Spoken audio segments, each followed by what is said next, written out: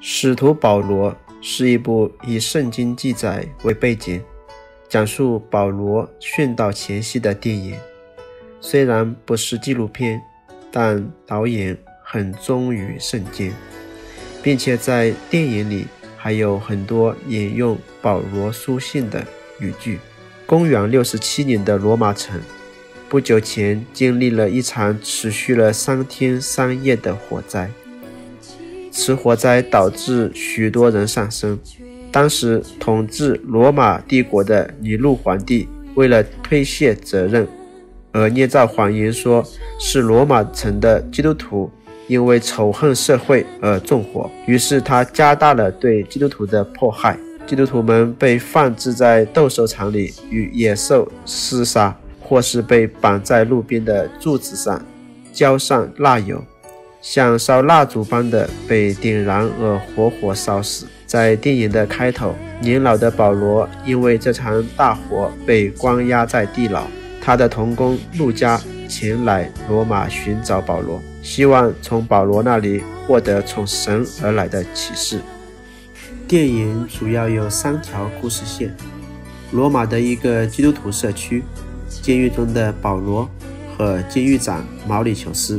而路加是串联全部故事线的线索人物。罗马的基督徒社区其实是基督徒们逃离罗马当局的杀害而藏身的地方。这里的负责人是阿奎那和希拉，他们除了收留因为迫害无处可去的基督徒以外，还会收留街头流浪的寡妇孤儿。这个基督徒社区面临一个很难的抉择：到底是逃离这个危险的罗马之城，还是为着那些无助的人继续留下来完成自己的使命？这也是阿奎那和希拉持有的分歧，但他们还是竭力保守合一，祈求神的指示。保罗接到了。监狱长从尼禄带来的死刑宣判书，他并没有因为这样的判决而感到惶恐，但在最后的人生道路上，保罗还是受到邪恶势力的猛烈攻击。保罗将自己交托给主，并对主说：“你的恩典够用。”监狱长毛里求斯深受罗马世俗文化与价值观的左右。在他心里，所谓的成功就是权力、金钱、自由，而他却无法用这些来换取自己女儿的健康，因为他的女儿得了重病，生命垂危。他和他的妻子也只能寻求众神的庇护。陆家到监狱见到保罗时，保罗很是惊喜，觉得他来到这里必然花去不少金钱的代价。这些金钱本可以帮助更多的弟兄姐妹，而陆家说，在这个决定上，社区没有一个人投反对票。格林多教会也为此奉献了许多金钱。陆家是一位希腊青年，有着精湛的医术。他没有见过耶稣，但是他说，当他看见保罗的时候，他似乎看见了保罗所传的耶稣。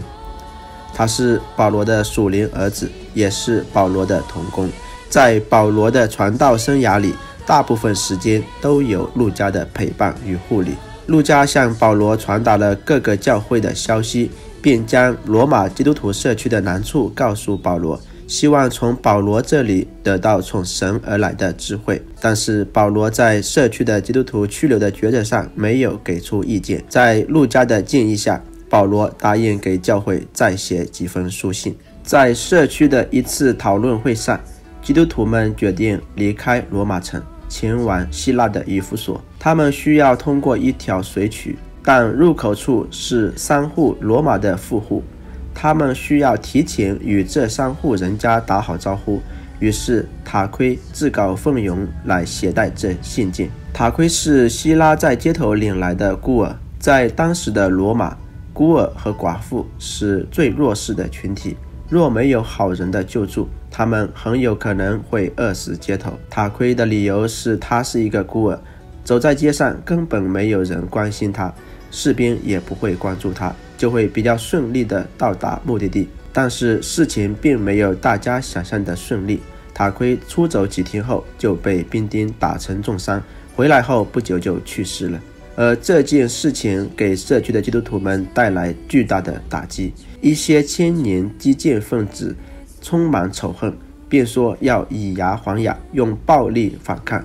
路加及时阻止了他们这样的念头。他说：“保罗被迫害许多次，但保罗没有一次举起自己的手指反抗迫害者。爱是唯一的方法。”其实，路加说“爱是唯一的方法”。这句话的时候，他的心里是不坚定的，因为在后来陆家再次去监狱探望保罗时，才表现出心底里的疑惑。他说：“这是个被魔鬼掌握的世界，这是尼禄的竞技场，街道上血流成河，孤儿寡妇饿死，出生时有轻微缺陷的婴儿被处理丢弃。这个世界对爱一点都不了解。”但保罗反问道。当初基督没有放弃我们，而现在你要放弃这个世界上的其他人吗？于是保罗说出了爱的真谛：爱是恒久忍耐，又有恩慈；爱是不嫉妒；爱是不自夸、不张狂、不做害羞的事，不求自己的益处，不轻易发怒，不计算人的恶，不喜欢不义，只喜欢真理。凡事包容，凡事相信，凡事盼望，凡事忍耐，爱是永不止息。因为保罗的劝勉，路加的心灵重新恢复平静。保罗回忆起他改变的经历，他曾经是一个狂热的犹太教徒，对上帝只有盲目的爱，他自以为是上帝愤怒的正义之手。于是，将所有称耶稣为弥赛亚的门徒们视为亵渎上帝的可憎之子，便严加迫害残杀。但在前往大马士革路上发生的事，让保罗有了一百八十度的转弯，他才真正认识真理之神。当时，天上忽然发光，四面照着保罗，他就扑倒在地，听见有声音对他说。扫罗，扫罗，你为什么逼迫我？他说：“主啊，你是谁？”那声音说：“我就是你所逼迫的耶稣。”扫罗从地上起来，竟失明了。进了城后，三天不吃也不喝。三天后，来了一位基督徒，两人素未谋面，但却互相叫出了对方的名字。因为各自都被神启示了将要发生的事情。经过这位叫亚拿尼亚的基督徒祷告之后，扫罗的眼睛便重见光明了。从此，扫罗就宣传耶稣就是神的儿子米赛亚。而刚不久前，他正是到处迫害传这样信息的人。他现在也从迫害者转变为被迫害者。而路加写的书信均被。监狱长解惑监视，并被怀疑他和保罗在密谋着什么越狱或复仇计划，于是将陆家也一起关在保罗的监狱里。当下，监狱长女儿的病情每况愈下，医生已经宣布无法挽救，除非多拜拜众神。而在另一边，社区的基督徒得知了陆家也被关在监狱中。其中的一些青年人想要用暴力去引救路加和保罗，但这一想法受到了领袖阿奎那的反对。保利求斯的朋友建议他好好接近一下保罗，可以和保罗聊一聊，说不定可以从保罗口里得到一些有利用价值的情报。另外，传说保罗有神奇的力量，说不定能医好他女儿。于是，毛利求斯照着做了。和保罗谈完后，他心中产生了三点疑惑：第一，保罗拥有某些力量，却宣称没有权利使用它；第二，做了奇迹般的事情，却不吹嘘包装自己；第三，不为所做的工作求报酬。毛利求斯认为这样的人一点都不像领袖，而更像是奴隶。他又问保罗。他的女儿生病了，如果他向保罗的神祈祷，他会好起来吗？保罗的回答是：我不知道，上帝的方式和我的方式不同。保罗的回答让毛利求斯觉得毫无用处，不过他还是决定将书信还给路加，并且第二天会释放路加。保罗对毛利求斯最后的建议是让路加去给他女儿看病，因为路加是一位医术高明的希腊人，但是却遭到了毛利求斯的拒绝。他说他不会带一位基督徒到自己家里而惹怒众神。